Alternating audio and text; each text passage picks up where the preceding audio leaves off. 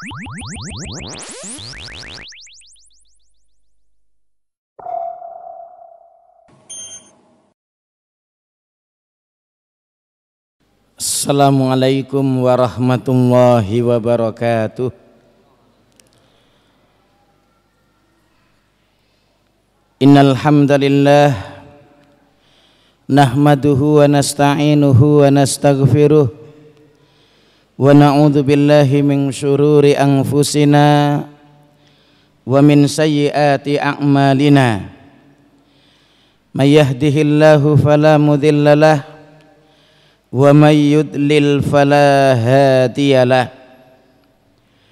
أشهد أن لا إله إلا الله ولا نعبد إلا إياه وأشهد أن محمد بن عبد الله قد بلغ الرسالة وأدى الأمانة ونصح الأمة صلوات الله وسلامه على رسول الله wa ala alihi wa ashabihi wa mawala wa man ittaba'a hudah ila yaumil qiyamah kaum muslimin dan muslimat yang saya hormati mudah-mudahan Allah subhanahu wa ta'ala selalu memberikan rahmatnya kepada kita semua. Marilah kita selalu bersyukur kepada Allah atas nikmat nikmatnya yang begitu banyak sehingga sampai saat ini kita masih bisa untuk menikmati kehidupan dunia yang fana ini. Kita masih bisa beraktivitas melaksanakan tugas, tanggung jawab dan kewajiban kita sebagai hamba Allah yaitu untuk selalu beribadah kepadanya termasuk ibadah yang agung dan mulia adalah seperti yang kita laksanakan ini yaitu mengkaji agama Allah Subhanahu wa taala atau tafaqquh fid din. Kita berdoa semoga salawat serta salam selalu dilimpahkan kepada Nabi Muhammad sallallahu alaihi wasallam keluarganya sahabat-sahabatnya serta para pengikutnya yang setia sampai akhir zaman. Mudah-mudahan kita semua menjadi orang-orang yang berusaha setia di dalam mengikuti sunnah-sunnah Rasulullah sallallahu alaihi wasallam dan menerapkannya dalam kehidupan sehari-hari kita sampai ajal menjemput kita masing-masing sehingga kita menjadi orang-orang yang akan mendapatkan syafaatnya Rasulullah sallallahu alaihi wasallam di hari kiamat nanti dan juga termasuk golongan orang-orang yang berhak mendapatkan kebahagiaan serta keberuntungan fid dunya wal akhirah. Selanjutnya kaum muslimin dan muslimat yang mudah-mudahan Allah selalu membimbing kita di atas jalannya Allah. Jalan yang diridhai oleh Allah yaitu jalan yang ditempuh oleh para salafus saleh oleh Rasulullah dan para sahabat-sahabatnya kembali untuk kita membahas tentang adabul ukhuwah yaitu adab adab ukhuwah. Adab-adab persaudaraan. Yang sudah kita bicarakan adalah di antara adabnya agar kita saling mencintai berusaha untuk saling mencintai di antara orang-orang mukmin dan sudah kita bicarakan bahkan hal-hal yang bisa menumbuhkan rasa cinta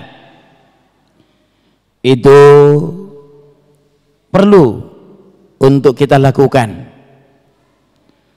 Ya, di antaranya sudah disebutkan supaya kita-kita ini menyebarkan salam.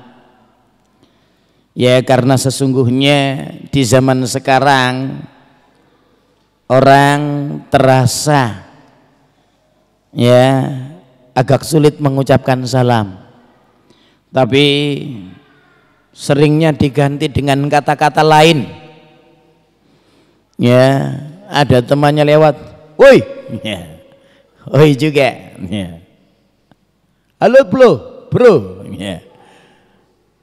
ya halo bro begitu dan seterusnya ya jadi bukan assalamualaikum ya Waalaikumsalam. Bukan itu yang sering kita jumpai.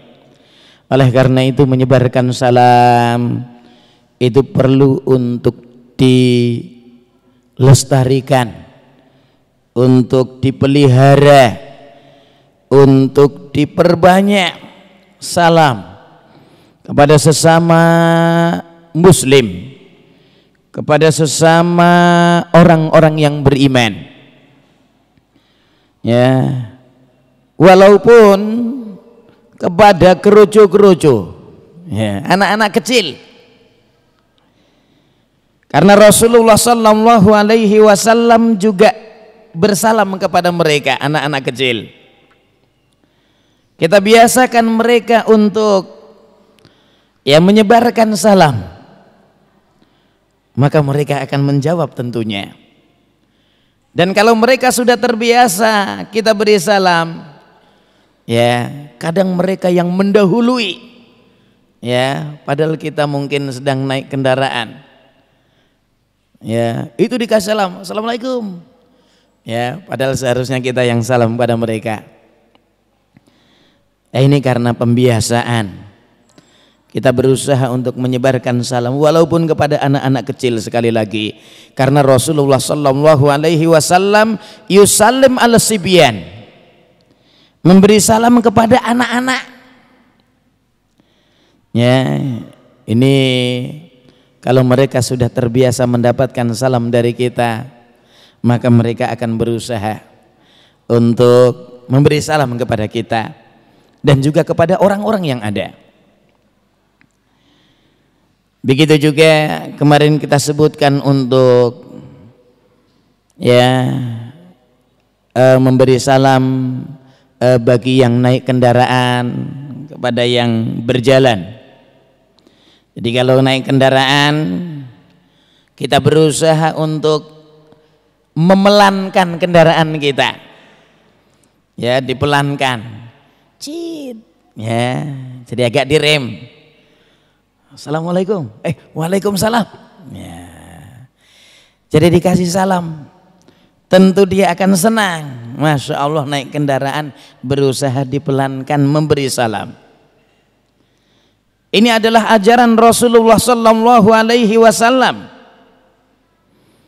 yang berkendaraan kepada yang tidak berkendaraan. Ar-rakib alal masyi yaitu yang berkendaraan kepada orang yang berjalan. Ya bukan yang berjalan pada yang naik kendaraan. Azwur. Udah sampai sana. Ya nggak mungkin. Ya. Begitu juga ya. Yang sedikit kepada yang banyak. Ya. Dua orang dengan lima orang. Yang sedikit kepada yang banyak. Ya bukan yang banyak kerendengan begitu. Salam kepada satu orang. Buah seperti suara gemuruh. Ya, enggak. Tapi kita salam, mereka jawab. Ya. Jadi yang sedikit kepada yang banyak. Ya. Yang kecil kepada yang dewasa, begitu seharusnya. Cuma dalam taraf melatih mereka tidak mengapa sebagaimana yang dikata yang diajarkan oleh Rasulullah untuk yang dewasa kepada anak-anak. Nah ini yang perlu kita lestarikan ya untuk memelankan kendaraan kita. Yang berjalan kepada yang duduk. Ya. Assalamualaikum Pak. Waalaikumsalam. Begitu. Kalau zaman sekarang kan terbalik. Orang duduk nongkrong-nongkrong, ada yang lewat, Assalamualaikum, waduh. Ternyata perempuan yang disalamin, tapi kalau laki-laki enggak salam mereka. Ya enggak berani salam. Ya, ah ini. Ya. Jadi yang duduk kepada eh, yang berjalan pada yang duduk. Ini adalah tuntunan Rasulullah sallallahu alaihi wasallam Ya begitu juga sudah kita sebutkan yang namanya salam ya terutama kepada orang-orang yang tidak membiasakan diri seperti di kampung-kampung. Itu mereka akan tergugah Masya Allah. Diberi salam. Seneng. Ya. Ada gerombolan atau kelompok ibu-ibu pengajian. Nggak ada salahnya kita salam kepada mereka. Walaupun kita tidak mengenal mereka. Yang jelas mereka orang-orang Islam kita kasih salam mereka. Ya assalamualaikum. Waalaikumsalam. Ya, dikira ustadznya. Ya. tapi ternyata cuma lewat aja kita. Ya, ini adalah adab ukhuwah dan bisa menumbuhkan rasa cinta. Ya. Jadi jangan ada temannya suka. Oh, ini orang senang terus sih ya. jadi jangan malah cemberut ada saudaranya senang dia susah ya apalagi kalau dia susah oh tambah susah ya susah terus jadinya tapi manakala ya temannya mendapatkan suatu kenikmatan, suatu kebahagiaan, suatu kesenangan, dia senang. Itulah adab orang mukmin. Adab bersaudara. Ya, senang sama-sama. Ya. Karena itu Rasulullah sallallahu alaihi wasallam mengatakan gimana? La yu'minu ahadukum hatta yuhibba li akhihi ma yuhibbu li nafsih tidak beriman salah seorang di antara kalian dengan sempurna sehingga dia menyukai untuk saudaranya menyenangi untuk saudaranya sebagaimana kalau dia menyukai untuk dirinya sendiri. Ya, sebagaimana dia suka kalau hal itu menimpa pada dirinya. Jadi seseorang dikatakan tidak beriman dengan sempurna sampai dia menyukai untuk saudaranya. Ya. Sesuatu yang menimpa saudaranya itu dia senang. Ya, karena berupa kesenangan yang menimpa saudaranya. Sebagaimana kalau sesuatu itu menimpa pada dirinya sendiri. Kenikmatan itu tertimpa pada dirinya. Ya, ketika saudaranya itu dapat kiriman uang. Ya, senang. Oh, Masya Allah, dapat kiriman nih kamu? Ya Iya, alhamdulillah. Ya ikut senang juga. Siapa tahu digratisin. Ya, siapa tahu digratis. Artinya senang juga. Ngelihat saudaranya pakai anu, pakai apa namanya? panter, pancal terus alias sepeda ondel. Ya. Senang, masya Allah. Ya, panternya baru nih. Ya. Ya, alhamdulillah kemarin ya ada sisa uang dapat kiriman juga dari bapak akhirnya untuk beli panter sehingga bisa untuk belanja nggak susah-susah berjalan Alhamdulillah ikut senang juga Siapa tahu boleh pinjam nanti ya. Oh iya iya iya ya boleh. Kapan-kapan. Enggak tahu kapannya kapan. Jadi senang kalau sesuatu menimpa saudara kita. Sebagaimana kalau sesuatu itu menimpa pada dirinya sendiri. Ya. Begitu juga ya, kita terapkan pada diri kita. Ya, kita senang kalau mengetahui jalan untuk menuju surga. Ya, kita harapkan saudara-saudara kita itu juga seperti kita.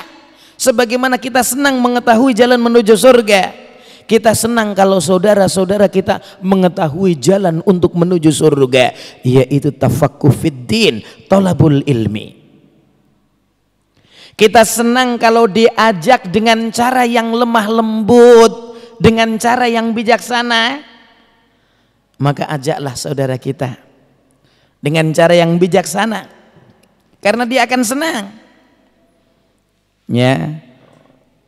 Jadi orang ya sebelum melakukan sesuatu terapkan pada diri sendiri. Ya. Kira-kira kalau dia saya ajak makan senang enggak? Kalau saya diajak makan gratis, seneng. Ah, begitu. Dia juga seneng kalau diajak oleh kamu makan gratis. Yuk beli bakso yuk. Uh, enggak punya uang. Ah tenang. Wah. Sebagaimana kamu senang kalau pas enggak punya uang diajak makan bakso oleh temanmu. Begitu. Ya, masya Allah. Alhamdulillah sedang kerucuk-kerucuk perutnya nih. Ya, jadi senang. Ya, maka berusaha begitu. Kalau kita senang ditawari, ya mungkin saudaramu nawari kamu ya sate. Dia beli 10 tusuk. Hmm, mau enggak? Iya kalau dikasih mau gitu. Saudaramu ketika sendirian kamu makan sate pun senang kalau kamu kasih. Jangan cuma nawar-nawarin tok. Mau enggak sate? Mau ya beli dong sendiri. Itu penjualnya masih ada. Jangan begitu. Dia kalau punya uang juga beli. Wong kepingin. Ya, tapi berusaha. Inilah. Ya. Ketika kita sedang berjalan sendiri mau tolabul ilmi atau mungkin katakanlah mau ke terminal ya jalan kaki Masya Allah tiba-tiba ada yang ngebel dindin ya. dindin dindin ngebel ngebel terus ayo mau ke terminal iya ayo bonceng oh Masya Allah senang maka kalau kita punya motor ya ada teman yang berjalan kaki atau mungkin mobil. Bel tuh. Ya, teman kita yang mau ke terminal, Masya Allah senang sekali dia. Dindin, bukan ini. Uh, mau ke sana. Ayo bareng. Oh, Masya Allah. Ya. ya. Senang juga. Ya. Kalau kita digratisin senang, jangan suka digratisin aja tapi nggak pernah gratisin sama sekali Ya, siapa yang gratisin lagi ya? Waduh, cari-cari lagi. Ya, jadi senangnya cuma digratisin doang. Ya, nggak pernah gratisin orang lain, nggak pernah gratisin saudara kita. Nah ini berusaha.